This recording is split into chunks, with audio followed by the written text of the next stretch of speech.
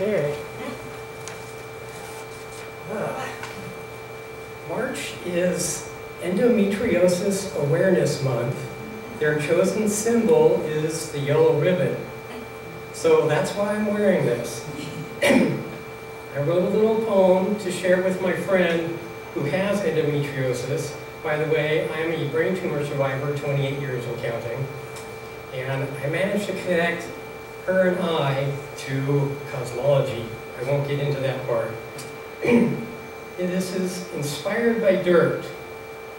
Tour, why are you covered in dirt?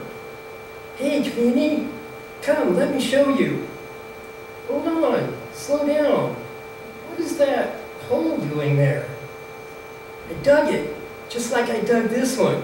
Now stick your arm in it, in that one. Feel the tunnel? Uh, yeah. Get down and stick your arm through it like this and stretch as far as you can. Hey, is that your hand? Yeah, now we're connected in a way that no one else can see. when the teacher said, which spells dirt, distance equals rate times time, as part of an explanation why you would multiply numbers together, it really caught my attention because I knew about dirt. Having trouble reading. But now that I'm a big boy, I understand that the equation is now distance as a function of time is equal to the velocity times the time plus the initial distance. But it will always spell dirt to me.